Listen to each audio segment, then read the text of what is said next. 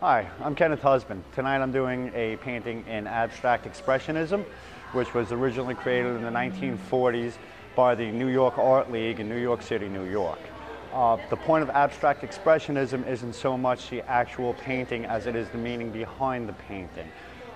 Art for those people was more of a thought-provoking experience, something to have some controversy about, something to make the public think instead of just looking at your average painting and deciphering whether or not the technique was properly applied.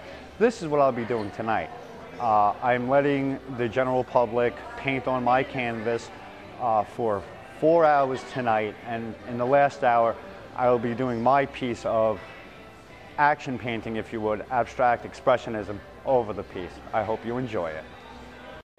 Okay, what you're looking at right now is within two and a half hours of the canvas being worked on. It is a three by three stretch canvas on a pine frame.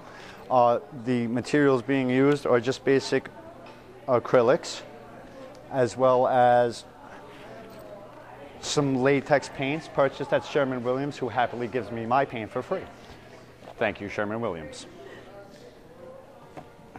Some people have a choice on if they would like to use one of the cheap palette knives, the metal palette knives, and I also procured from Michaels for $7.99 a pack of 20 disposable throwaway brushes.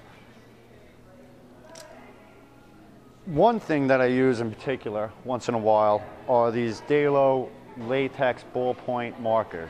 Uh, you can only find them in California, but they work really well for getting in on fine lines and stuff like that. I brought them here for the purpose of people, if they just want to sign their name or something on it real quick, they don't have to sit here for five minutes and do it.